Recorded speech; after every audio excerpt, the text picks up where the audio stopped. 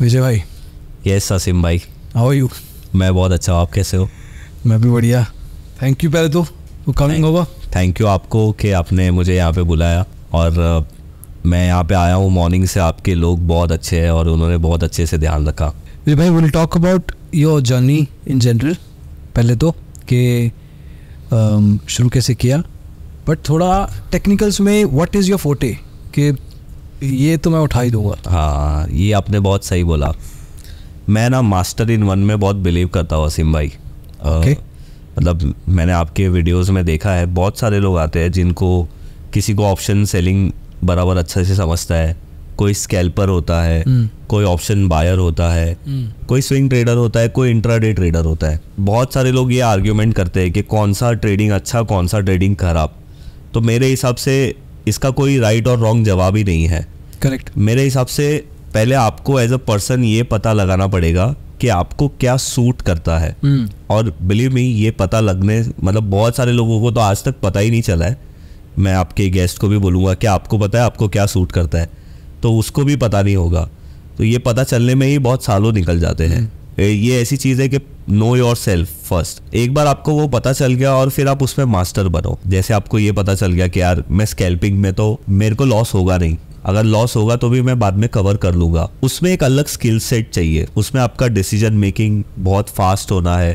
वहाँ पे आप कोई ट्रेड ले रहे हो तो एंट्री एग्जिट आपकी फास्ट है। जो मेरा स्टाइल है वो बहुत बोरिंग है। अगर मैं आपको वैसे बोलूँ कि भाई मैं साल में सिर्फ़ 25 से 30 ही ट्रेड करता हूँ तो शायद आप बोलोगे कि आप इससे आप कितना रिटर्न कमा लेते हो। तो रिटर्न भी मैं बहुत अच्छा कमा लेता हूँ जो मतलब एक ऑप्शन सेलर या ऑप्शन बायर शायद कमाता है। यही बात है कि आपको अगर पता चल गया कि आपका मेथड क्या है आपकी पर्सनैलिटी क्या है और आपको वो सूट कर गया तो आप वो तरीके से कर सकते हो। बट ये पता लगने के लिए मुझे बहुत साल लगे। कितने? मैंने अपना करियर अ, 2009 में शुरू किया था। और मैं ग्रेजुएशन के बाद जॉब ढूंढ रहा था। हम्म। तो जॉब तो मुझे मिल ही नहीं रही थी। और फिर मेरा ऐसा था कि यार कोई जॉब मिले अच्छी तो पहले वो टाइम पे कॉल सेंटर बहुत चलते थे। तो मैंने कॉल सेंटर के बहुत इंटरव्यू दिए। तो उसमें मेरी इंग्लिश की वजह से मैं रिजेक्ट हो जाता था। और फिर ऐसे भी कॉल सेंटर थे जो नेशनल लैंग्वेज मतलब गुजराती मराठी वैसे में भी थे। पर वो टाइम पे मैं इतना इंट्रोवर्ट था कि किसी ना किसी रीज़न से रिजेक्ट हो जाता था। तो जॉब मिल ही नहीं रही थी। फिर अ, मैंने एक दो बार मतलब मेरे जो दोस्त थे जिन्होंने पढ़ाई नहीं की थी वो ऐसी दुकानों में काम करते थे जो साड़ियों की दुकान होती है हमारे यहाँ पे लोकल मार्केट में। तो आप एक बार कॉलेज ख़त्म कर देते हो छः महीना हो गया आपको जॉब नहीं मिल रही है घर से भी प्रेशर मिलता था। मतलब घर वाले ऐसे गुस्से से नहीं बोलते थे बट ऐसे बोलते थे कि यार कुछ कर ले अभी क्या है बाकी है अभी क्या करना है। और लाइफ में कोई गोल नहीं था। तो मैंने फिर एक दो महीने वहाँ साड़ी की दुकान में भी काम किया था। कि जॉब नहीं मिलने से अच्छा है कुछ तो काम करूँ।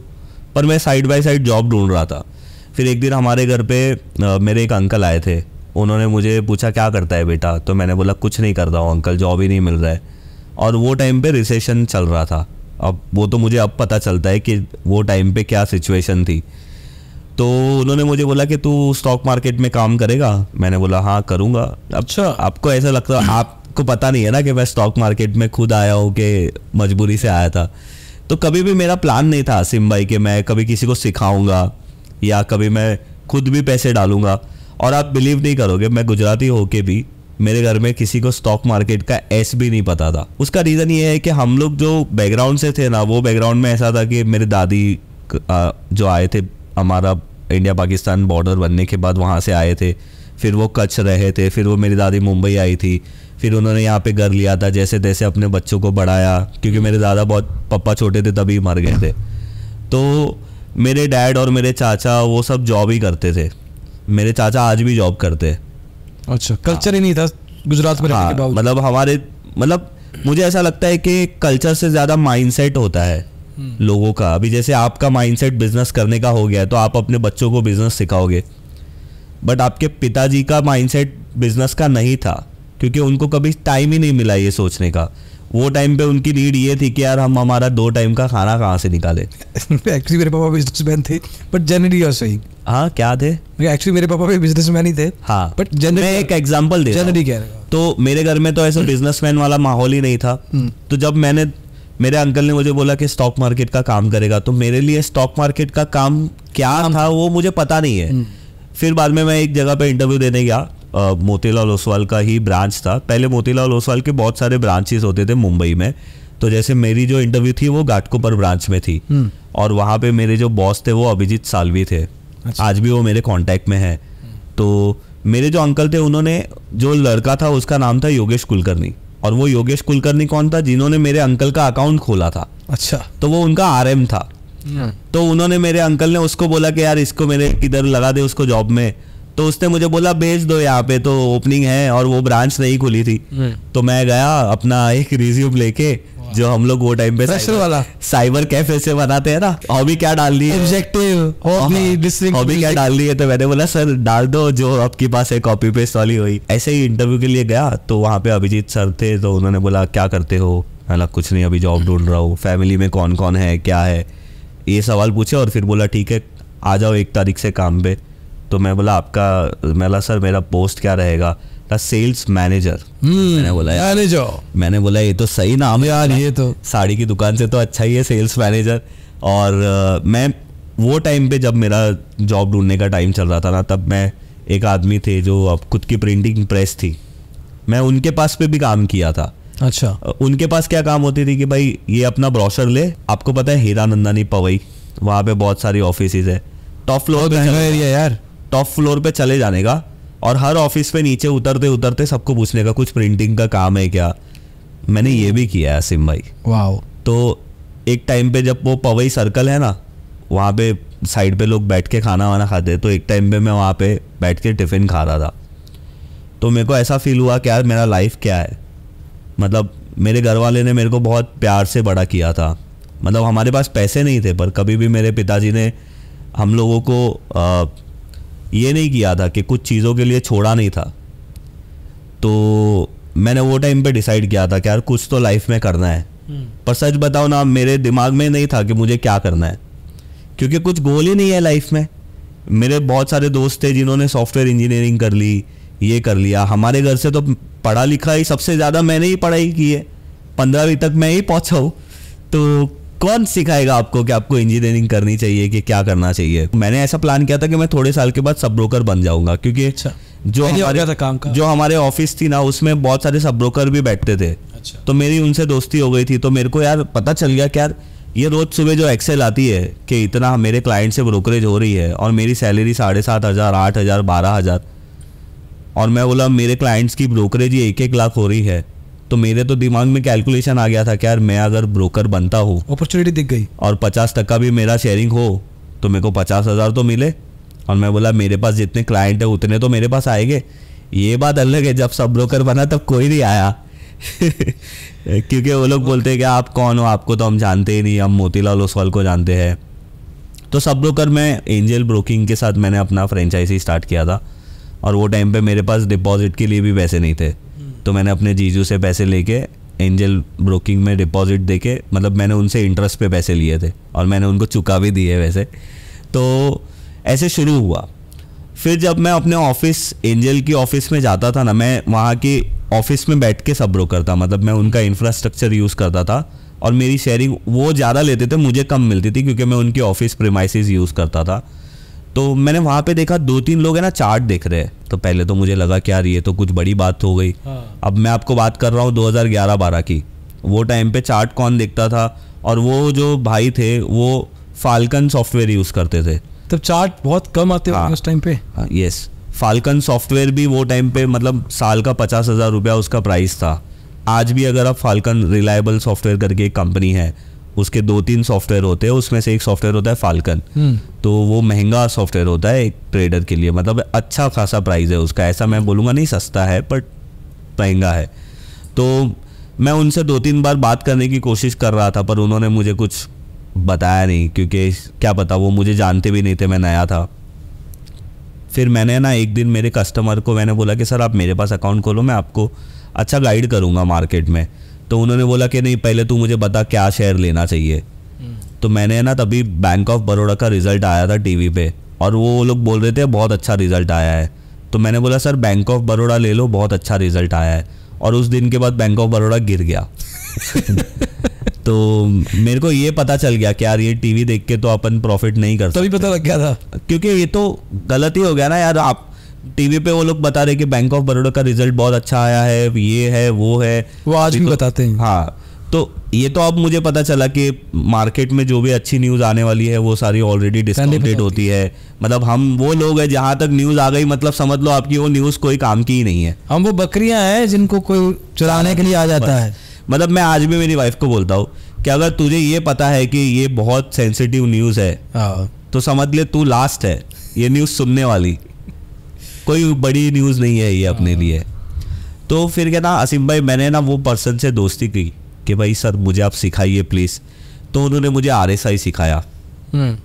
तो मैंने छः महीना आर एस आई अप्लाई किया और मैंने क्लाइंट्स लोग को गाइड किया। अब आर एस आई छः महीने बाद मार्केट सिचुएशन बदली तो आर एस आई भी नहीं चल रहा था। फिर मैंने पैराबोलिक स्टॉप एंड रिवर्स सीखा। वो भी नहीं चला थोड़े टाइम के बाद। फिर मैंने स्टोकेस्टिक सीखा। थोड़ा टाइम सारे इंडिकेटर्स के एक करके बारे मैं मैं। क्या करता था कि ये इंडिकेटर मैं बस वो टाइम पे स्ट्रगल ही चल रहा था। ये, ये कहाँ से सीख रहे थे? वो ये मेरे जो पास में बैठे थे वो और फिर वो टाइम पे कैसा था ना अभी जितना यूट्यूब में लोग अवेलेबल है और वो टाइम पे कैसा था बहुत कम यूट्यूब में आपको अगर आपने टेक्निकल एनालिसिस की वीडियो भी डाली तो आपको यूएस की वीडियो बाहर की आएगी। तो मैं जैसे तैसे और मैं ऑफ़िस में ज़्यादा टाइम स्पेंड करता था क्योंकि वहाँ पे इंटरनेट फ्री होता था।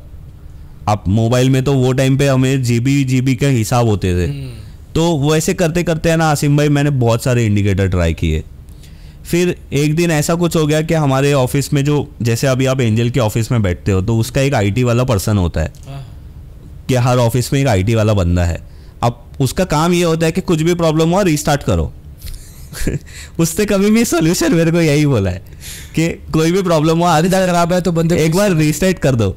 तो एक बार ऐसा ही कुछ हुआ मेरे मेरे डेस्कटॉप में आधी स्क्रीन दिख रही थी आधी नहीं दिख रही थी तो उसने बोला सर एक बार रीसेट कर लो सही हो जाएगा। सही सही तो हो गया पर मेरे ऑडिन में जो मैंने इंडिकेटर सेव किए थे वो सब डिलीट हो गए। अब ओडिन सॉफ्टवेयर अच्छा हुआ। हाँ ओडिन सॉफ्टवेयर ऐसा है ना कि अगर आपने एक बार उसके आपके लैपटॉप में से वो अनइंस्टॉल हो गया और आपने वो सेटिंग सेव नहीं की थी अच्छा। या फिर आपने उसके टेम्पलेट को कोई फोल्डर में नहीं रखा है और वापस से आप नया इंस्टॉल करोगे तो वापस से वो डिफ़ॉल्ट वाली सर आएगी। करेक्ट तो मेरे को ये चीज़ रियलाइज़ हुई कि ये प्राइस और ये वॉल्यूम को छोड़ के मैं सब देख रहा हूँ। जो कि देखना चाहिए। हाँ फिर मैंने बोला अभी मैंने सब कुछ करके देख लिया है ये भी करके देख लेता हूँ। फिर मेरे को मोतीलाल ओसवाल जी की एक बात याद आई थी कि आप बड़ा सोचो लॉन्ग टर्म सोचो। तो मैं जो पंद्रह मिनट का चार्ट देख रहा हूँ जो पाँच मिनट का चार्ट देख रहा हूँ जो तीस मिनट का चार्ट देख रहा हूँ। किसी ने बोल दिया कि अरे नहीं नहीं सेवेंटी फाइव मिनट्स का चार्ट देखो उसमें फ़ायदा है। हाँ। तो मैं सेवेंटी फाइव मिनट का भी दिखता था। किसी ने बोल दिया बीस मूविंग एवरेज मत लगाओ ट्वेंटी वन लगाओ क्योंकि बीस तो सब वापर रहे हैं। फिफ्टी मत वापर फिफ्टी टू वापर क्योंकि फिफ्टी तो सब वापर रहे मैंने सब करके देख लिया था आसिफ भाई। तो फिर मैंने सोचा कि यार अपन प्राइस और वॉल्यूम पर प्रैक्टिस करते हैं। समझने की कोशिश करते हैं कि ये क्या चलता है इसमें। और वो टाइम पे है ना शेर खान वाले ने ऑनलाइन ट्रेडिंग एकेडमी वाले लोगों के साथ टाइप किया था। हम्म। और तभी हमारे मुंबई में फिनिक्स मॉल में उनका आज भी शायद ऑफ़िस होगा ऑनलाइन ट्रेडिंग एकेडमी वाले का साथ वो लोग फ्री डेमो लेक्चर देते थे। तो मैं मेरे दोस्त के साथ मैंने सैवियो करके एक मेरा दोस्त था बेचारा वो अभी रहा नहीं उसको कैंसर में उसकी डेथ हो गई।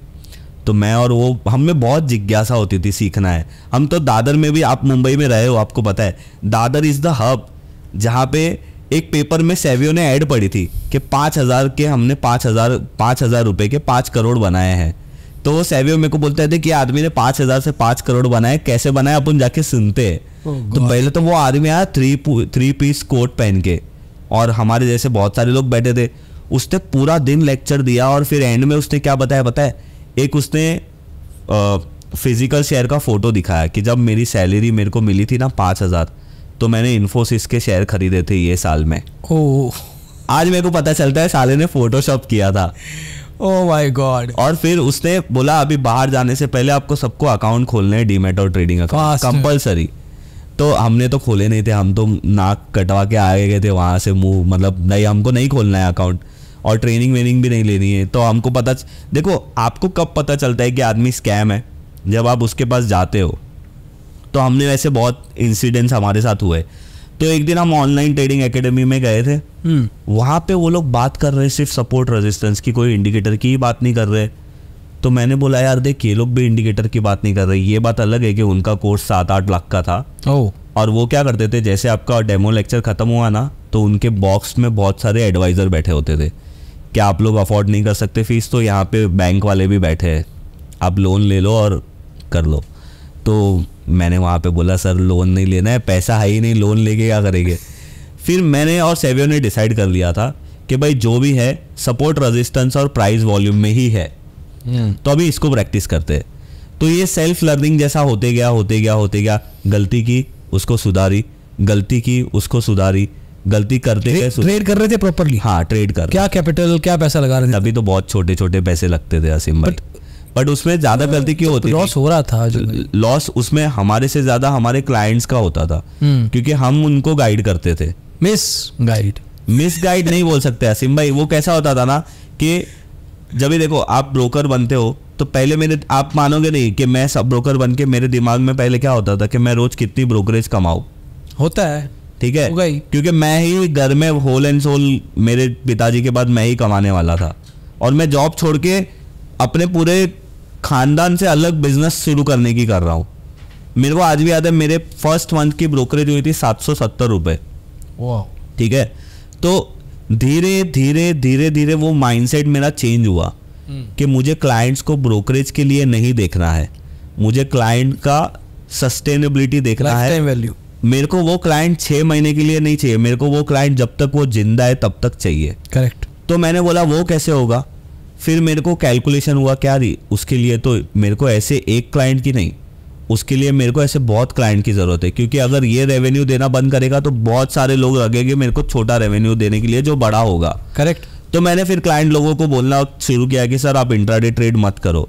आज भी असीम भाई हमारे ऑफ़िस से अगर किसी को फ़ोन जाता है अकाउंट ओपनिंग के लिए तो हमारी मैडम या जो भी हमारे प्रेजेंट रिप्रेजेंटेटिव होते हैं वो गाइड करते हैं कि इंट्राडे ट्रेड मत करो। हम्म। क्योंकि हम चाहते हैं कि क्लाइंट भी पैसा कमाए जब क्लाइंट पैसा कमाएगा तब हमें ब्रोकरेज देगा। exactly. और जब वो है ज़िंदा तो हम ज़िंदा रहेंगे।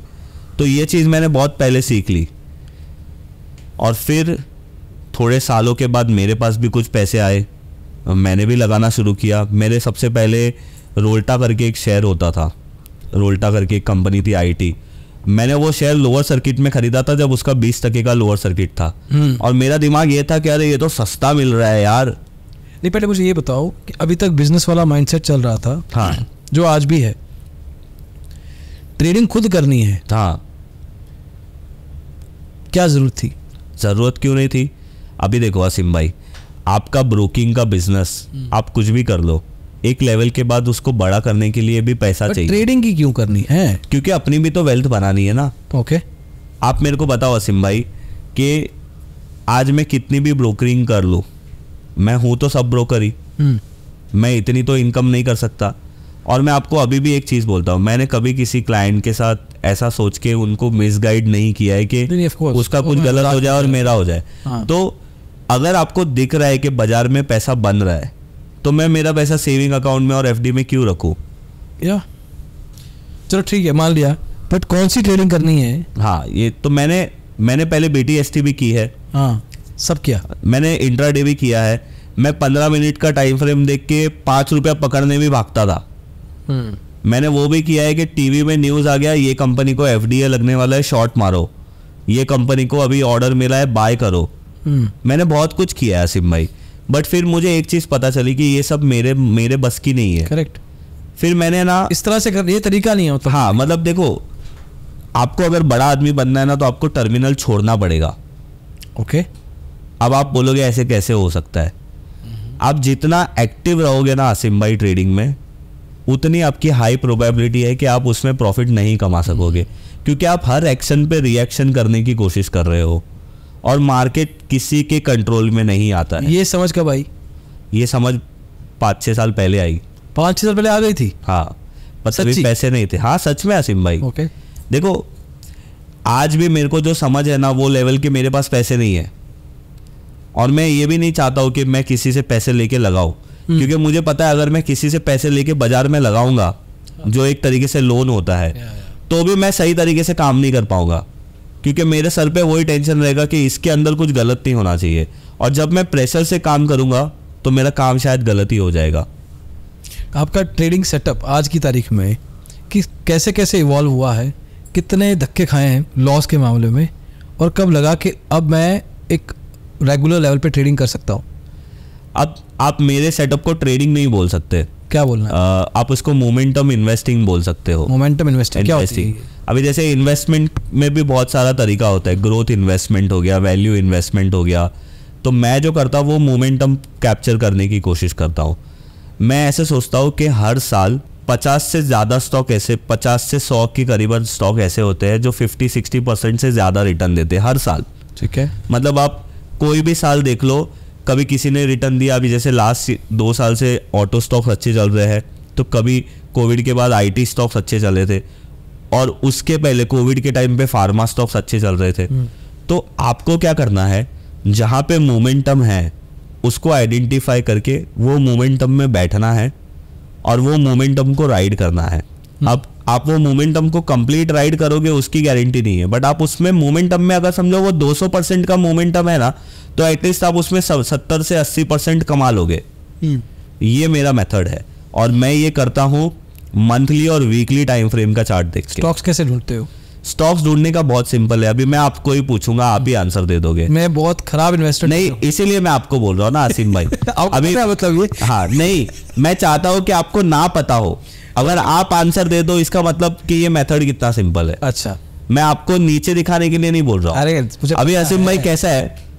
मैंने आपको क्या बोला कि मैं चलते हुए स्टॉक में पैसा डालूँगा। हम्म। जो स्टॉक महँगा है मोमेंटम का मतलब क्या? जो महँगा है उसमें पैसा डालूँगा और जब वो और महँगा होगा तब उसमें से निकल जाऊँगा। ठीक है। तो मेरे को कौन से चीज़ों को ध्यान देना चाहिए? आप एक अंदाज़ा बताओ। ओके। जिसमें मोमेंटम है उसमें बैठ जाऊँगा। जो स्टॉक एक साल का हाई मार रहा है मतलब रिसेंट एक साल का हाई मार रहा है जिसे हम लोग 52 वीक हाई बोलते हैं। और दूसरा फ़िल्टर जो स्टॉक अपर सर्कल सर्किट मार रहा होगा। नहीं जो स्टॉक ऑल टाइम हाई मार रहा है। अच्छा। 52 वीक का मतलब क्या है? जनरल बात हो गई। तो बस यही चीज़ है। मैं मैं एक्चुअली कुछ टेक्निकल सोचने लग गया था कि मैं कुछ अलग से नहीं असीम भाई आज मैं आपको गारंटी देता हूँ कि मैं जो मेथड आपको बताऊँगा ना वो मेथड आप भी कर सकोगे। बट यार ये कोई भी बिगनर करता है यार ये तो। क्या? 52 वीक हाई पकड़ लिया। हाँ पर इसमें कुछ इसमें लोग सारे लोग नहीं पकड़ते बट कुछ लोग ऑल टाइम हाई भी पकड़ते हैं। हाँ पर इसमें क्या होता है ना इसमें आपके एक्सपीरियंस के साथ अभी पाँच हज़ार स्टॉक मार्केट में लिस्टेड है। पाँच हज़ार से कम हो गए या ज़्यादा हो गए पता नहीं है। पाँच पकड़। बट एक अंदाज़ा है। अब आपको कौन सा स्टॉक पकड़ना है उसके लिए भी आपका एक्सपीरियंस लगता है। अगर अच्छा अभी समझो मार्केट अच्छा है। मान लो कि पाँच हज़ार स्टॉक्स में से हाँ। सौ स्टॉक्स ऐसे हैं। हाँ। जिनका सौ क्या दो सौ लगा लो। दो हाँ। सौ स्टॉक्स ऐसे हैं जिनका फिफ्टी टू वीक हाई है। हाँ। और उसमें से सौ स्टॉक्स ऐसे हैं जिनका ऑल टाइम भी हाई है। हाँ। अब क्या? तो ये कभी कभी इसमें से सत्तर स्टॉक तो कॉमन हो गए। हाँ मैंने सौ- सौ कॉमन कर दिया। हाँ तो सौ कॉमन है। अभी इसके अंदर और तीन चीज़ है जो मैं देखता हूँ हाँ। कि जैसे समझो एक स्टॉक ने 2010 में हम्म। एक हाई मारा था समझो पाँच सौ रुपया। हम्म, और फिर वो नीचे गिर गया था साठ रुपया या सौ रुपया। हम्म, और उसके बाद वो वापस से 2024 में खड़ा हो गया वापस से 500 के पास आ गया। इसका मतलब क्या? कि एक कंपनी जहाँ पे शुरू हुई थी वहाँ से लेके वो कंपनी ऑलमोस्ट खत्म हो गई थी हम्म। और वो कंपनी ने फिर से अपने आप को खड़ा किया। इसका मतलब क्या कि उसने एक पूरा बड़ा साइकिल कंप्लीट किया। और ये 2010 से लेके 2024 एक एग्ज़ाम्पल है। ये कितना बहुत रेयर एग्जांपल है। रिपर मिलते हैं आसिम भाई। आज भी मिलते हैं। हर साल ऐसे कम से कम आपको पाँच से छः स्टॉक्स मिल जाते हैं। तो जो सौ तक पहुँचे उन सौ के सबके चार देखे। हाँ सौ के आपके चार्ट देखने पड़ेंगे। हम्म, क्योंकि आपको कितने टाइम फ्रेम के? मंथली वीक पंद्रह बीस साल। नहीं मंथली वीकली आप आप मंथली लगाओगे ना आसिम भाई तो एक कैंडल एक महीने का है। हाँ। तो आपको 2008 तक का डेटा दिख जाएगा। और टेक्निकल एनालिसिस में सबसे ज़्यादा इंपॉर्टेंट होता है हिस्ट्री उसकी। हम्म, कि उसकी हिस्ट्री कैसे थी और फ्यूचर कैसा हो सकता है। तो ये जो मेथड है अभी इसमें मैंने आपको एक कंडीशन बताई कि उसका higher the time frame higher the chance of giving profit दूसरा मेथड ये है कि वो बहुत अच्छे प्राइस के साथ समझो अभी 2010 का इसका प्राइस पाँच सौ रुपया था और 2024 में पाँच सौ रुपये को ब्रेक करना चाहिए विथ हाई कैंडल मतलब okay. बड़े कैंडल के साथ। उसका मतलब क्या है कि उसमें डिमांड आई है कि 2010 के खराब प्राइस को भी उसने ब्रेक किया। हम्म। ठीक है? उसके बाद अगर साथ में नीचे वॉल्यूम अगर है ज़्यादा वो कैंडल में तो वो आपको और कॉन्फिडेंस देता है कि ये कैंडल के अंदर कोई बड़ा प्लेयर एंटर हुआ है। देखो अब वॉल्यूम तो यार कुछ देर की हो सकती है। नहीं नहीं सर लगातार देखना है। नहीं आपको वही कैंडल की वॉल्यूम देखनी है। फॉर एग्जांपल सिर्फ़ आप वही वीकली कैंडल देख रहे हो तो आपने वीकली कैंडल की वॉल्यूम देख ली। वो सेम कैंडल की जो कैंडल में ब्रेकआउट हुआ है। तो वो पता है कुछ लोग मिलके कर रहे हो? नहीं नहीं आसिम भाई स्मॉल कैप हुआ तो। सब जगह पे तो ये पॉसिबल नहीं है ना आसिम भाई। सब जगह तो नहीं। सब जगह पे पॉसिबल नहीं है। आज मैं आपको बोलूँ मार्केट में बहुत सारी चीज़ मैन्युपुलेट होती है बट मैन्युपुलेट करने के लिए भी बहुत पैसा लगता है। अगर आप कोई लार्ज कैप या मिड कैप या स्मॉल कैप स्टॉक को भी आप चला रहे हो तो उसके लिए भी बहुत सारे पैसे लगते हैं। तो इसीलिए तो मैं बोलता हूँ कि अगर वो चला भी रहा है तो मेरे को उससे कोई लेना देना नहीं है। मेरा स्टॉप लॉस है। और इसके बाद एक्सपीरियंस से मेरे को ये भी समझ में आया है कि भाई इनलिक्विड स्टॉक में पैसा मत डालो। अभी आपने जो बोला बहुत सारे ऐसे स्टॉक होते हैं रोज पाँच पाँच परसेंट के सर्किट लगा रहे हैं। अब जब ये सर्किट उल्टे पड़ेंगे तब आपको निकलने का चांस नहीं मिलेगा। अब जनरली ये कौन से स्टॉक्स में होते हैं जिनका मार्केट कैप 200 करोड़ है 300 करोड़ है 400 करोड़ है? पर 10,000 करोड़ 5,000 करोड़ वाली कंपनी में ये करना मुश्किल है। करेक्ट पॉसिबल है इम्पॉसिबल नहीं है पर मुश्किल है। इतना इजीली नहीं कर सकते। तो ये कॉन्सेप्ट क्या है पता है? कि एक कंपनी थी जिसका प्राइस 2010 में या 2015 में एक फलाना प्राइस था। और वो बहुत नीचे जाके उसने इतना बड़ा ऐसा बहुत बड़ा बेस बनाया और वापस से ऊपर ब्रेक कर रही है। तो अभी इसका क्या क्या ये कंपनी में कुछ तो बदल रहा है अंदर। मतलब ये कंपनी लॉस ये ये जो मूवमेंट है ये ग्रेजुअल है। ऐसी नहीं है। हाँ उसको मैं पैराबोलिक बोलता हूँ। बहुत सारे स्टॉक्स में ऐसा होता है कि साठ रुपए से वो थर थर थर थर करके छह सौ हो जाता है। पाँच स्टॉक्स दस स्टॉक्स मिल गए। हाँ। अब क्या करोगे?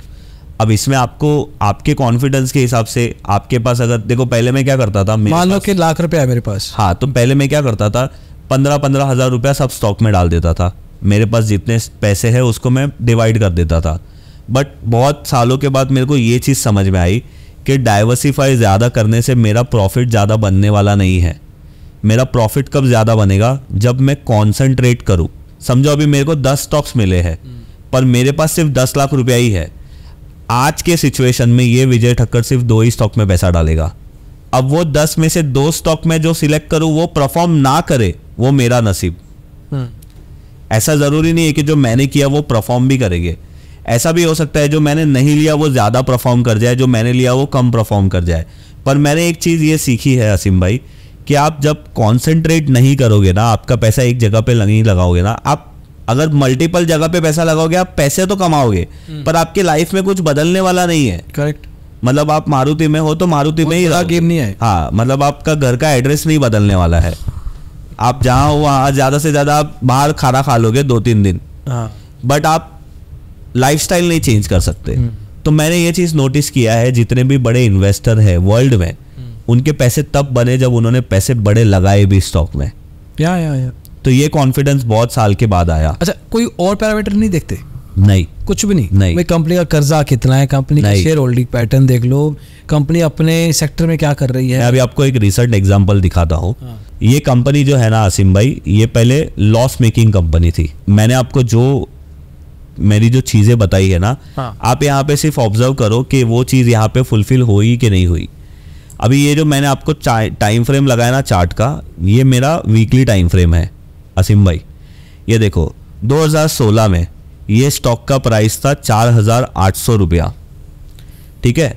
2017 में भी इसने ट्राई किया, पर ये ऊपर गया नहीं। वैसे ये फोर्स मोटर का बीएससी का चार्ट है, और मैं सिर्फ़ एग्जांपल दिखाने के लिए बता रहा हूँ कि मेरा मेथड क्या है। ये देखो, यहाँ पे नीचे आया था 2020 में कोविड में इसने लो मारा था ऑलमोस्ट छः सौ सत्तर रुपया। असीम भाई ये कंपनी लॉस मेकिंग ही थी।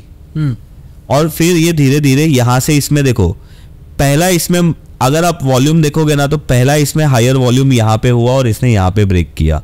तो कोई बड़े लोगों को यहाँ पे ही पता चल गया था कि ये कंपनी टर्न अराउंड हो रही है। अब हमारे नसीब इतने तो अच्छे नहीं है कि अपने को इतनी न्यूज़ पता पता चले।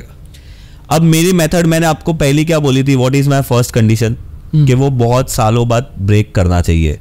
तो असीम भाई 2017 से लेके अभी तक मतलब 2016 से लेके 2024 कितना साल हो गया? आठ। आठ साल। अपना पहला क्राइटेरिया फुलफिल हो गया। दूसरा क्राइटेरिया मैंने आपको क्या बोला था अगर आपको याद है तो? कि अच्छे प्राइस के साथ उसका प्राइस ब्रेक करना चाहिए। तो ये देखो ये कैंडल आप देख रहे हो। उसने 2016 के प्राइस को एक बड़े कैंडल के साथ ब्रेक किया। विद बैंग मतलब इसका मतलब क्या? डिमांड आई बड़ी। अब तीसरी कंडीशन मैंने आपको क्या बोली थी? कि वो कैंडल में अपने को वॉल्यूम होना चाहिए। तो ये देखो। अब इसका इसका इसका एक्चुअली साइक साइकोलॉजिकली इसका मतलब क्या है? कि किसी बड़े आदमी ने यहाँ पे पैसा डाला। अच्छा अभी मैं आपको एक एग्जांपल बताता हूँ। समझो आपने 2016 में ये स्टॉक को 5000 में लिया था या 4800 में और 24 में आपका भाव आया। तो एक नॉर्मल आदमी क्या करेगा? खरीद लेगा। नहीं नहीं जि, जिसके पास पहले से खरीदा हुआ था 2016 अच्छा। में चार हज़ार आठ सौ में। और अभी आपका आठ साल बाद फिर से चार हज़ार आठ सौ का भाव आया है। हम्म। तो आप क्या करोगे? एक नॉर्मल आदमी क्या करेगा? मैं निकाल दूँगा मेरा हाँ। बराबर प्राइस पर वही जनरली होता है कि बहुत सारे लोग उसको महँगा समझते हैं। कोई कोई ऐसा बोलते हैं कि भाई चलो फाइनली अपना भाव आ गया निकल जाओ। पर वहाँ से ये स्टॉक की नई जर्नी शुरू होती है। आप इसको ऐसे बोल सकते हो कि ये स्टॉक का नया जन्म हुआ है। पेटीएम है आज। हाँ। पेटीएम में ये मेथड देख लो दो हज़ार पैंतीस में पेटीएम ऐसा होगा जैसे बात कर रहे हो? अगर पेटीएम रही तो। अभी मैं आपको क्या बोला हूँ मेरा जो मेथड है ना आसिम भाई सिर्फ़ आप मेरे को बोलो कि अपना जो तीन कंडीशन है वो तीन कंडीशन में से इसमें क्या चीज़ हम लोग अप्लाई मतलब इसमें कौन सी चीज़ अभी अभी नहीं अभी नहीं। दो हज़ार तीस अगर देखो बात कर रहा हूँ। अभी मैं क्या बोल रहा हूँ 2030-35 में पेटीएम का क्या सिचुएशन होगा। शायद ऐसा भी हो सकता है कि कोटक ने पेटीएम को खरीद लिया। आज आज गिरने के सिचुएशन में है जो 2008 में या 2016 में हाँ। फोर्स में हुआ। हाँ। आज वो इसका सिचुएशन हो तो जब भी देखो अभी अपन क्या करेंगे ना अभी मेरे मेथड में अभी ये अपन ने 1950 का भाव को मार्क कर लिया। अब जब ये 1950 तोड़ेगा तब अपन बात करेंगे। देखो क्या होता है ना कि अभी की कंपनी की सिचुएशन क्या है वो अपने को अभी पता है। फ्यूचर में इसकी कंपनी की सिचुएशन क्या होगी शायद कुछ अच्छी भी हो सकती है या इसके ऊपर जो प्रॉब्लम्स है वो धीरे धीरे खत्म होते जाएगी इस या ऐसा भी हो सकता है कि पेटीएम ने अपना बिज़नेस ही बदल लिया। चलो मेरे को बताओ कि ऑल टाइम हाई मारा हाँ। And fifty two week high मारा। हाँ। ये रोज चेक करते हो? रोज चेक करो तो ज़्यादा अच्छा है। उससे क्या होगा कि समझो कोई स्टॉक आपसे मिस नहीं होगा। और अगर आप हफ़्ते में एक बार चेक करोगे तो भी कोई प्रॉब्लम नहीं है। अब रोज चेक करने का एडवांटेज क्या है? कि आपका कोई ट्रेड में ब्रेकआउट मिस नहीं होगा। अभी देखो मैं आपको रीसेंट एग्ज़ाम्पल दिखाता हूँ और मैं आपको जो भी एग्ज़ाम्पल दिखाता हूँ ना आसिम भाई उसमें मैंने जो आपको तीन चीज़ बोली ना सिर्फ़ वही तीन चीज़ आपको मिलेगी। उसके अलावा कुछ नहीं मिलेगी। अब देखो ये स्टॉक का नाम है रिको ऑटो 2005 का प्राइस था असीम भाई। अभी ब्रेक किया है। अच्छा शायद Just- 2005 just और asking- 2008 के टाइम पे ये पेटीएम होगा। है ना? जस्ट आस्किंग तो अब ये दिख गया अपॉर्चुनिटी है। हाँ। सो so, जो भी हम स्टॉक्स की बात कर रहे हैं are you invested in them हाँ मैं आपको रिको ऑटो में अभी दिखा दूँ। अच्छा मैं एंट्री कैसे लेता हूँ वो आपको पूछना चाहिए क्योंकि आपके व्यूवर्स के लिए वो ज़्यादा इंपॉर्टेंट है। अभी देखो रिको ऑटो का मेजर 2005 का जो हाईएस्ट पॉइंट था वो 115 रुपया था। 114.60 है मैं 115 बोल रहा हूँ। तो मैं क्या करता हूँ मैं 114.60 प्लस फोर परसेंट मैं ऐसा सोचता हूँ कि 114.60 पे मैं नहीं खरीदूँगा और चार पाँच परसेंट ऊपर जाएगा तो मैं एंट्री मारूँगा। तो मैंने वहाँ पे एंट्री मार ली। मैं अपना अलर्ट रख लेता हूँ ट्रेडिंग व्यू में अपने मोबाइल के ब्रोकर के ऐप में।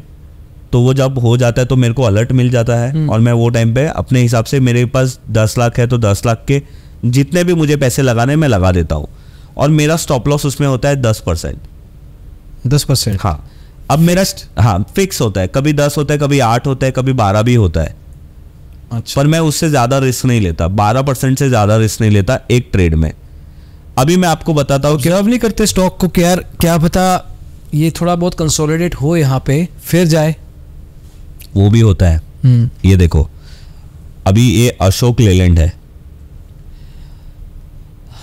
इसने 2018 का अभी ब्रेकआउट किया था और ये नौ महीने से कंसोलिडेट कर रहा है। करेक्ट पर अभी इसमें क्या होगा ना आपका पैसा लगा हुआ है। अटका हुआ है आपका कुछ नुकसान नहीं होगा। एक बार ऐसा भी हुआ था दीपक फर्टिलाइज़र के ट्रेड में कि मैंने जनवरी मंथ में खरीदा और वो स्टॉक छः महीना जैसे अशोक लेलैंड कंसोलिडेट कर रहा है वैसे वो भी कंसोलिडेट कर रहा था। पर सातवें महीने ने उसमें 75 परसेंट रिटर्न दिया। एक ही महीने में वो 75 परसेंट चल गया।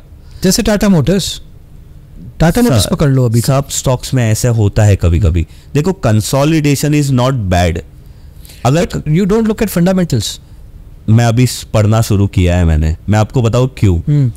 अ, मैंने बहुत सारे ऐसे स्टॉक्स लिए जैसे मैं आपको बताता हूँ। जैसे ये देखो मैंने मैंने मैं आपको क्या बोला कि मैं गलतियाँ करते गया और उसको सुधारते गया। अब देखो ये एबीबी इंडिया करके है। असीम भाई ये स्टॉक है ना 2007 का लेवल इसने 2021 में ब्रेक किया था 14 साल के बाद। वनवास काट के आया। ठीक है? अब मेरा जनरली रेंज कैलकुलेशन का मेथड क्या होता है? वैसे मैंने वीडियो में भी यही टाइटल डाला था वनवास के बाद। रियली हाँ। तो मेरा मेथड अपसाइड का टारगेट का क्या होता है? कि भाई जो स्टॉक का टॉप था और जो स्टॉक ने लो मारा था उसके बाद वो रेंज निकालो और उसको ब्रेकआउट के बाद ऐड कर दो। असीम भाई मैंने ये स्टॉक 1650 में खरीदा था। 1650 या 1700 में मेरा टारगेट आता था 2950 रुपया।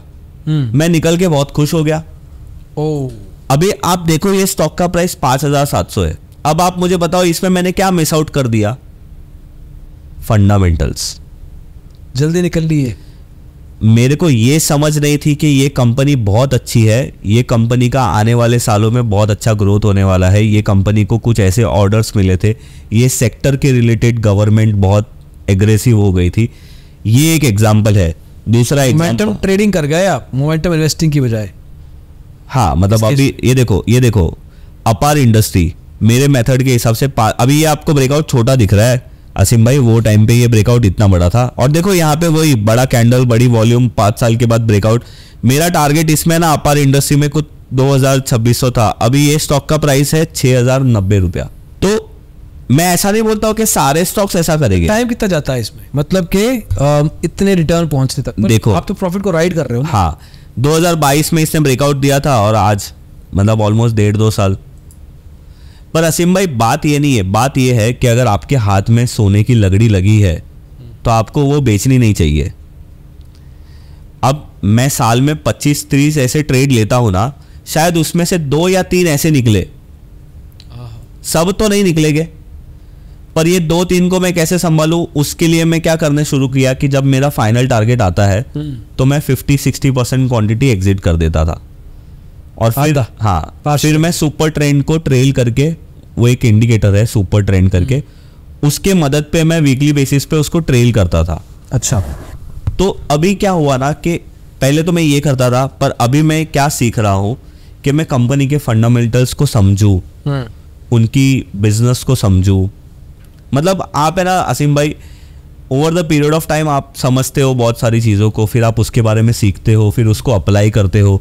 मेरे हिसाब से स्टॉक मार्केट सीखते सीखते आपकी पूरी ज़िंदगी चली जाएगी। तो भी खत्म नहीं होएगा। तो भी आपको लगेगा कि यार सारा मेरे को आता नहीं है और मेरा अभी वही स्टेज चल रहा है। नहीं कई लोग हैं जिनको पंद्रह दिन में आ जाता है। हाँ? कई लोग होते हैं जिनको पंद्रह दिन में आ जाता है। तो मेरे से अच्छे हो गए सर। मेरे को तो नहीं आता है असीम भाई कभी कभी मेरे को सर कैजम भी बोल रहा हूँ। नहीं मैं समझ गया आपकी बात पर अभी देखो मैं आपको लेटेस्ट एग्ज़ाम्पल दिखाता हूँ। अभी जैसे ये Jindal steel and power company है। असीम भाई मैंने यहाँ पे क्या कुछ रॉकेट साइंस नहीं किया है? ये देखो 2010 का प्राइस था। 2010 में इसका प्राइस एक बार में 796 था। उसके बाद इसने अपने लाइफ टाइम में 48 रुपीस का लो मार चुका है। कोविड के पहले की बात है ये। और वापस से ये स्टॉक क्यों 800 रुपया ब्रेक कर रहा है बताओ मुझे। क्या है इसमें? फंडामेंटल देखने पड़ेंगे। कुछ तो होगा ना अपने को नहीं पता है। अब मेरा इसमें टारगेट क्या बन रहा है वो मैं आपको बताऊँगा तो आप मुझे बोलोगे विजय तू पागल है कुछ भी बोलता है। नहीं नहीं। देखो इसमें मेरा अच्छा। अपसाइड का टारगेट बन रहा है 1450 से लेके 1500 वैसे अभी ये स्टॉक का प्राइस थिंक कि जितना टिप आया हाँ। डिफरेंस जितना हाई से है? ये टीपी लगाना हाँ। ये ऑब्जर्वेशन है कि उतना तो आता ही है असीम भाई। ये एक्सपीरियंस गट फीलिंग एक्सपीरियंस है और मैं आपको मेरे पास बहुत सारे ट्रेड है जो मैंने किए हैं और उतना आया है। इवन मैंने आपको बताया ना उससे भी ऊपर जाता है अगर कंपनी अच्छी होती है तो। हम्म। इसका क्या मतलब है असीम भाई कि ये कंपनी ने जो किया वो किया पर अभी ये कंपनी का नया दौर शुरू हुआ है। नई मैनेजमेंट आई होगी नए लोग आए होंगे। टाटा मोटर में क्या हुआ आपको पता है? हम्म, ये देखो अब टाटा मोटर ने तो इतना अच्छा रिटर्न दिया असीम भाई। ये देखो टाटा मोटर ने क्या किया था? 2015 का लेवल 2023 जून महीने में ब्रेक किया था। फिर इसने अभी जैसे अशोक लेलैंड नौ महीने से कंसोलिडेट कर रहा है। टाटा मोटर ने चार महीने कंसोलिडेट किया। और टाटा मोटर आज देखो मैंने ये ब्लू लाइन बनाई थी ना वो ब्लू लाइन क्या है पता है आपको? वो गैप है डिफरेंस है। ये जो डिफरेंस है ना आसिम भाई वही ये ब्लू लाइन है हाँ, हाँ। तो मतलब अब वहाँ तक पहुँच गया। अब टाटा मोटर में यहाँ पे क्या हुआ था? उनके मैनेजमेंट में वो आए थे उनके जो अभी नए आए हैं जिन्होंने सारी कंपनी को ही टर्न अराउंड कर दिया। तो अब अगर मेरे को वो टाइम पे ये चीज़ का नॉलेज होता कि यार ये भाई साहब अभी मैनेजमेंट में एंटर हुए हैं और इनका पास रिकॉर्ड तो बहुत कड़क है तो मेरा वो टाइम पे कॉन्फिडेंस टाटा मोटर पे कितना होता? प्रीटी हाई है ना? मैं दस लाख की जगह पे शायद बीस लाख लगा देता। तो अभी मैं जो आपको कॉन्सेंट्रेशन की बात कर रहा था अगर आपने टाटा मोटर में 900 600 रुपए में 10 लाख लगाए हो तो ऑलमोस्ट अभी तो डबल ही हो गए 1200 नहीं हुआ है बट ऑलमोस्ट तो सोचो इन्वेस्टिंग में वही बात है कि आप जितना पैसा लगाओगे उतना पैसा आपका बनेगा। अगर किसी का कैपिटल एक करोड़ है और उसने एक साल में अपने कैपिटल को डबल कर लिया हम्म। तो लाइफ बदलती है। अगर- कितने स्टॉक्स हैं आज? अभी मेरे पास पाँच स्टॉक है। है? हाँ। तो कब से कर रहे हो मोमेंटम इन्वेस्टिंग मैं तो जब से मेरे को ये समझते निकालते भी रहते हो बीच बीच हाँ रोलिंग चलते रहता है आसिम भाई। अभी जैसे मेरे पास रिको ऑटो है। रिको ऑटो का टारगेट आ गया तो मेरे वहाँ से पैसे फ्री हो जाएँगे। और वो टाइम पे अगर कहीं पे नया अपॉर्चुनिटी मिला तो मैं डाल दूँगा। आपको है ना आसिम भाई मैं पहले दस पंद्रह स्टॉक रखता बट था। क्यों कुछ ऐसे स्टॉक को क्यों एग्जिट करना जो कि लंबी रेस के घोड़े हो सकते हैं? हो सकते हैं ना पता नहीं है ना।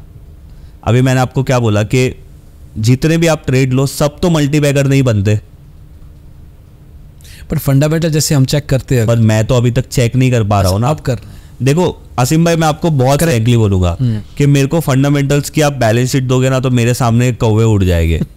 क्योंकि अभी मैं वो समझ नहीं पा रहा हूँ। पर इसका मतलब ये नहीं है कि मैं उसको सीखूँगा नहीं। सीखूँगा तो शायद समझ पाऊँगा। फेयर ये एक्सेप्ट करना भी इम्पोर्टेंट है। हाँ। बिकॉज़ अदरवाइज़ सबको लगता है नहीं नहीं नहीं आता है तो नहीं आता है। अभी सीखना पड़ेगा। क्योंकि फंडामेंटल्स का understanding I agree with you कि कंसंट्रेशन होना चाहिए। और सबका अपना अपना साइज़ होता है। हमारे पॉडकास्ट में 500 वाले भी आ चुके हैं कि जिनके पोर्टफोलियो में 500 स्टॉक्स हैं। नॉट इवन किडिंग मज़ाक भी नहीं कर रहा हूँ मैं। तो उसकी लाइफ नहीं बदलने वाली है ना उसमें से? पॉइंट सोचो आपका अपना एक सोच है उनकी एक डायरेक्शन है। मैंने आपका एक वीडियो देखा था वो। हाँ हाँ मैंने देखा एक्चुअली वो अभी ही इज़ नॉट मोर अच्छा। इज़ लेफ़्ट अरे यार। लास्ट वीक ही पता लगा हमें भी। बट आई एम सेइंग 500 वाले भी हैं देर समबडी हुज है got 600 and there is got somebody what 15 10 5 vary करता है सबका माइंडसेट अब मैं मैंने आपको शुरू में ही यही बोला था कि मार्केट में पैसा देने के लिए मार्केट सबको रेडी है। पर आप कैसे लेते हो? तमीज से आओ। पर डिपेंड है। तमीज से आओ। आप कैसे लेते हो? अब मैंने मैंने आज अपन यहाँ पे बैठे पाँच साल बाद अपन अपन जब मिलेंगे तब मैं कुछ और नया सीख के आऊँगा। इसमें कुछ और एडिशन करूँगा। फंडामेंटल्स तब तक मैं शायद थोड़ा बहुत समझने लगूँगा। हम्म, अरे आप पाँच महीनों में सीख जाओगे। नहीं नहीं ऐसा नहीं मैं बता रहा हूँ कि हाँ। सीखना एक अलग चीज़ होती है और उसको बराबर समझना एक अलग चीज़ होती है। हम्म, अपने गाड़ी तो सीख ली है पर कहाँ पे कैसी गाड़ी चलानी है? आज भी रास्ते में हम देखते हैं कि कैसे भी लोग गाड़ी चलाते हैं। करेक्ट तो वो एक अलग चीज़ है सीख के उसको यूज़ कैसे करना यूज़ कैसे करना है। That is very very important तो वो मेरी जर्नी चल रही है और मैं तो चाहता हूँ कि मैं अभी जो साल के 25 ट्रेड करने की कोशिश करता हूँ और कम करूँ। वो आगे जाके कम हो जाए यार। असीम भाई सुधर जाएगी लाइफ आप मानोगे असीम भाई मैं अभी एक महीने में मेरा मेरा जो टर्मिनल है उसको बंद करवा रहा हूँ। वाओ मुझे नहीं देखना है भाव। ओ माय गॉड देखो मैं 2011 से ब्रोकर हूँ तो मेरे को पहले से टर्मिनल मिला हुआ है। तो अभी एक आदत बन चुकी है नौ पंद्रह को टर्मिनल चालू करो। कुछ कर नहीं रहा हूँ। बस चालू है लाल लाल और ब्लू चल रहा है वहाँ पे। डिस्ट्रैक्शन बन गई है मैंने एक नोटिस अट्रैक्शन डिस्ट्रैक्शन बन गई है। मैंने एक चीज़ नोटिस किया ये चालू क्यों रहता है? तो फिर मैंने अप, मतलब मैं ऐसे कभी समझता हूँ सोचता हूँ तो मैं बोलता यार इसको बंद करवा देते तो मैंने मेरे ब्रो मेरे सब ब्रोकर मतलब मेरे ब्रांच मैनेजर को फ़ोन किया। मैंने बोला विनोद भाई मेरा टर्मिनल बंद करवा दो। बोलता है, अरे विजय भाई पक्का? मैंने बोला भाई अभी सब क्लाइंट ऑनलाइन ट्रेड करते हैं। हाँ। मेरा टर्मिनल का मुझे कुछ काम नहीं है। वो सामने पड़ा रहता है मैं देखते रहता हूँ। मेरा ध्यान पूरा दिन उधर रहता है। मैं लंच उसको देख के करता हूँ। क्योंकि आदत है ना आसिफ भाई मैं पहले सब पुरानी था। मैं पहले टिफ़िन लेके ऑफ़िस जाता था और पूरा दिन हाँ सर क्या लेना है क्या बेचना है? वही तो करता था। और मैं वहाँ पे ये देखता था कि 35 साल वाला आदमी भी वही काम कर रहा है मेरे साथ। हाँ। और 50 साल के अंकल भी मेरे साथ वही काम कर रहे हैं। तो मैंने वही टाइम पे डिसाइड कर लिया था कि भाई ये सब ब्रोकर से तो मैं आगे लाइफ में नहीं बढ़ पाऊँगा। अब आपने पूछा था ना तूने इन्वेस्टमेंट ट्रेडिंग क्यों शुरू किया? तो असीम भाई मेरे भी बहुत बड़े सपने हैं मुझे भी वेल्थ बनानी है। और आपको मैं एक बात गारंटी से बोल सकता हूँ असीम भाई कि अगर आपको पैसे अच्छे से कमाने हैं तबीयत से कमाने हैं ना तो वो बाज़ार से ही हो सकता है। हाँ वो आपका तरीका क्या है वो आप डिसाइड वेरी करता है। शायद मैं आप आप फास्ट कर लो मैं स्लो कर लूँ पर कमाएँगे तो सही। कोई जल्दी कमा ले पैसा क्योंकि आजकल तो हम लोग देख रहे हैं बहुत लोग बहुत पैसा कमा रहे ओके मोमेंटम इन्वेस्टिंग में एग्जिट कब करना है? जब अपना टारगेट आया लेवल आ गया हाँ। पचास परसेंट हाँ। बाकी का? बाकी का फिर मैंने बोला ना कि अभी तो मैं सुपर ट्रेंड से उसको ट्रेल करता हूँ। और अगर मेरे को फंडामेंटल्स समझने आ गए। तो शायद अभी मैंने एक चीज़ सीखी है मैं आपको भी बताता हूँ जो सीखी है वही बताता हूँ। मैं एक इन्वेस्टर से मिला। मैं उनका नाम आपको बाद में बताऊँगा। तो वो इन्वेस्टर को मैंने पूछा सर ये मेरा मेथड है। मैंने उनको पैसे दिए हाँ मिलने के लिए। अच्छा। एक घंटे के। अच्छा। और। हाँ और मेरे को कोई गम नहीं है उसका। ओके। मेरे इंटेंशन में क्या था कि क्या तो मैं बुक पढूं हाँ। या तो मैं वो आदमी से मिलूं जिसने पैसे कमाए हैं। अब आप मेरे को बोलो असीम भाई अगर आपको वो आदमी बोलेगा कि एक घंटे मिलने के मेरे को इतने पैसे दे। अगर आप बहुत स्मार्ट आदमी हो ना आप बोलेगे ले भाई पैसे तो मेरे को नॉलेज दे। काम खत्म कर। तो मैं वहाँ पे गया। मैंने उनको बोला सर मेरा ये तरीका है क्या लगता है ये कितना चलेगा? बोलता है बेटा सही है सही कर रहा है। मैं बोला नहीं सर मेरे को और कम काम करना है ये तो बहुत ज़्यादा हो जाता है। बोलते मैंने फिर उनको ये बताया सब एग्ज़ाम्पल कि सर ये शेयर तो इतने भाग गए मैं तो निकल गया। हाँ। तो बोलता है बेटा एक समझ अगर तू जो ब्रेकआउट ले रहा है वो टाइम पे वो कंपनी का मार्केट कैप पाँच हज़ार करोड़ के नीचे है हाँ। तो बहुत ज़्यादा चांसेस है कि वो दस हज़ार बीस हज़ार करोड़ होगा। यस तो इसका मतलब क्या? कि वो चार गुना तीन गुना होगी कंपनी तो फिर आप हंड्रेड परसेंट रिटर्न तो एक्सपेक्ट मत करो थोड़ा ज़्यादा ही करो। करो कम निकल रहे हो। हाँ। अगर आपने कोई स्टॉक में ब्रेकआउट लिया वो कंपनी का मार्केट कैप अभी पच्चीस करोड़ है। हाँ। तो फिर आप सौ पचास परसेंट में समझ जाओगे बहुत. बड़ी। और अगर कोई कंपनी है जो लार्ज कैप है तो उसमें पचास परसेंट भी मिल गया तो आपके अच्छे नसीब है। क्योंकि कंपनी का टारगेट भी तो कंपनी का टारगेट प्राइस बढ़ाना नहीं है। ड- उनका directly। market cap बढ़ाना मार्केट कैप बढ़ाना है बड़ा बनना है। अब मेरे लिए पूरे मीटिंग में पूरे एक घंटे की मीटिंग में सिर्फ़ यही बात मेरे दिमाग में बैठ गई। सेंसिबल वेरी सेंसिबल और मैंने बोला यार ये पैसे वसूल हो गए। और मैं फिर पैसा देके जाऊँगा। क्योंकि देखो आज तक कोई बड़ा इन्वेस्टर ऐसे आके नहीं बोल रहा था कि मेरे को एक घंटे का पैसा दो मैं आपको मिलूँगा। अगर वो पर्सन बोल रहे हैं तो हमारा काम है कि मेरे को तो ये एक्सपेक्टेशन ही नहीं थी कि मेरे को उनके पास से कुछ मिलेगा। हाँ। मैंने उनसे एक बार भी नहीं पूछा कि मुझे कोई स्टॉक बताओ सर जिसमें मैं इन्वेस्ट करके बैठ जाऊँ। मेरे को स्टॉक नहीं चाहिए मेरे को आप नॉलेज दो कि आपने इतने साल में क्या सीखा sir. That's the way it should be ऐसा ही होना चाहिए। स्टॉक स्टॉक टिप टिप ये सब चीज़ें उनके स्टॉक शॉर्ट टर्म पे मैं क्या कितना खरीद लूँगा फिर से वही सवाल आएगा। डिस्प्लिन की गोली है ये। पेन किलर है ये। नहीं चलो असीम भाई उन्होंने बोला कि ये स्टॉक ले लो। हाँ। अब आप मेरे को बताओ आप उसमें अपने कैपिटल का पचास परसेंट डालोगे? आप लोगे एक लाख रुपए का। अगर वो डबल भी हो गया तो आपकी लाइफ में क्या चेंज हुआ? मैं तो वही सवाल पूछता हूँ कि ऐसा करो कि आपकी लाइफ स्टाइल भी बदले और लोगों को भी दिखे। और घर का एड्रेस भी बदले। एड्रेस बदलना तो ज़रूरी है। और सच बात है असीम भाई स्टॉक मार्केट आपका एड्रेस बदल सकता है। मेरा तो बदला है। मैं पहले चौल में रहता था। आज मैं अंधेरी की सबसे अच्छी बिल्डिंग में रहता हूँ। आई एम नॉट सरप्राइज्ड तो मेरे को बहुत प्राउड फील होता है। यू शुड बहुत प्राउड फील होता है। और मैं अपने पूरे घर वालों को भी खुश देख के बहुत खुश होता हूँ कि यार एक मतलब है ना हमारे गुजराती में ऐसा बोलते हैं कि खानदान में लाइफ बदलने के लिए ना एक आदमी चाहिए। मतलब खानदान का शकल बदलने के लिए। और वो आदमी है ना पूरी ज़िंदगी मेहनत करता है। और वो बहुत पैसा छोड़ के जाता है। और मैं वो आदमी बनना चाहता हूँ मेरे खानदान का। वेरी पावरफुल यार। यस और असीम भाई उसमें मेरे को मेहनत करने में कोई दुख भी नहीं है मेरे को मज़ा आता है। आज मैं अपना यूट्यूब चैनल चलाता हूँ आज मुझे किसी ने अपने गेस्ट में से किसी ने पूछा what is your goal on YouTube पता है मैंने उसको क्या बोला पता नहीं। बस मज़ा आ रहा है मैं बना रहा हूँ यार। चल रहा है। बहुत सारे लोगों को ऐसा लगता होगा कि यूट्यूब में पैसे के लिए आते हैं। आपको भी पता है यूट्यूब में क्या पैसा मिलता है। आज हम लोग यहाँ पे साढ़े ग्यारह बजे वीडियो रिकॉर्ड कर रहे हैं रात के। और दिखा देते हैं। हाँ नहीं नहीं इतना तो वैसे ट्रेडिंग व्यू की इसमें भी दिखेगा उनको टाइम नहीं आसिम भाई कुछ देखो कुछ लोगों की तो ये लोग बात सुनते हैं यार इतना भी सब उल्लू नहीं बनाते। कदम आजकल बड़े ना एहतियात के साथ रखने पड़ते हैं हर तरह के। नहीं आसिम भाई। बट विजय भाई सच में यार what a beautiful what a powerful line और इस ये मैं ना हम अपन जानते हैं एक दूसरे को काफ़ी हो गया टाइम अपने को। I totally believe that you would be that person because I know the energy that you have in you in terms of एक पॉजिटिविटी होती है ना बंदे की एक मैं आपको अभी बोल रहा हूँ ना तो मेरे को गूजबम्प आ रहे हैं और I believe मैं इमोशनल भी हो गया था।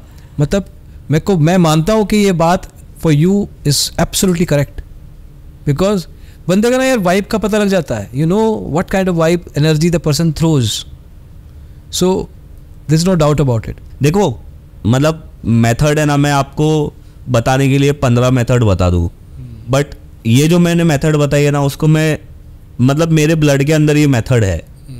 अब एक घंटे में मैं पूरी डिटेल में बहुत सारी चीज़ें नहीं बता सकता। बट मैंने आपको जो यहाँ पे बताया ना that is the eighty percent of my trading style अब ट्वेंटी परसेंट क्या बच गया है कि कौन से स्टॉक को लेना चाहिए किसको अवॉइड करना चाहिए? अच्छा वैसे लास्ट क्वेश्चन अगर ऐसा स्टॉक नहीं मिलता है for a period of time दो महीने कोई स्टॉक नहीं मिला ऐसा नहीं मिलता है कभी कभी हाँ। मैं आज आपको बोलूँ आज मेरे को ये नहीं मतलब हर हफ़्ते तो ऐसा होता है कि एक स्टॉक तो मिलता है हम्म। आज का वो हफ़्ता है मतलब जो ये लास्ट वीक था एक भी स्टॉक नहीं मिला है हम्म। तो असीम भाई इसका मतलब क्या है कि मार्केट में मोमेंटम ही नहीं है हम्म। तो मोमेंटम इन्वेस्टिंग होगी कहाँ से आप समझ लो मेरी बात अगर आपके पास दस स्टॉक है और मार्केट गिर रहा है तो आपके सब स्टॉक में से स्टॉप लॉस हिट हो गया आप कैश में आ जाओगे। हाँ। और समझो मार्केट छः महीने तक खराब है। और फिर मार्केट जब वापस से अच्छा होने लगेगा तब आप वापस से अपना काम शुरू कर दो। हर बिज़नेस का एक सीज़न होता है। करेक्ट तो मेरे भी बिज़नेस का सीज़न है पर मेरे बिज़नेस में डिसएडवांटेज क्या है स्टॉक मार्केट में? मेरे को पता नहीं है वो सीज़न कब आता है कब जाता है। किसी को नहीं पता। क्योंकि देखो वो कपड़े वाले को पता है कि भाई दिवाली आएगी तो कपड़े ज़्यादा बिकने वाले हैं। पेंट वाले को पता है दिवाली में पेंट ज़्यादा बिकने वाला है। सबको अपने अपने होली वाले को जो बेचते सबको अपना सीज़न पता है। अपने को अपना सीज़न नहीं पता है कि ये बारह महीने में से आपका सीज़न कौन सा है। और मैं मंदा कब आना है? हाँ और मैं ये भी मानता हूँ कि आपको बारह महीने की ज़रूरत ही नहीं है। आपने बाज़ार में अगर छह महीने अच्छे से कर लिए ना तो आप बारह महीने का रिटर्न कमा के निकलोगे। Great way to say it great way to end it. And thank you again Vijay bhai thank you sharing all this. Hopefully this is gonna help a lot of people. Yes yes कि इतना complex complex stock market को बोलते हैं simple तरीके अगर लगातार किए जाए सही तरीके से सही नियत से तो वर्क करते हैं। तो हंड्रेड परसेंट करते हैं। Thank you